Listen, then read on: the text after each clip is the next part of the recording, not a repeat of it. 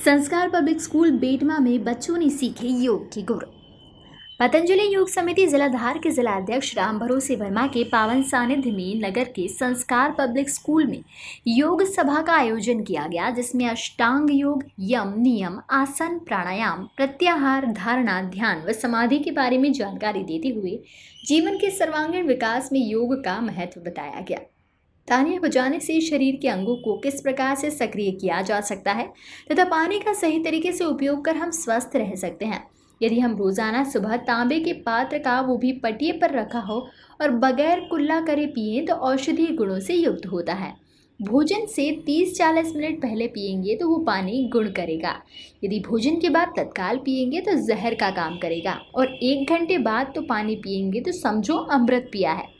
ठंडे पानी से स्नान करना चाहिए, जिससे हमारे शरीर में लाल रक्त कणिकाएँ मज़बूत होती है।